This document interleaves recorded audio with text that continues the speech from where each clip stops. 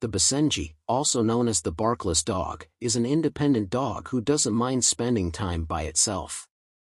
However, according to the American Kennel Club, they have a lot of energy, so when you get home, you'll need to help them burn it off. Going to the dog park, playing fetch in the yard, or walking around the neighborhood are all examples of this.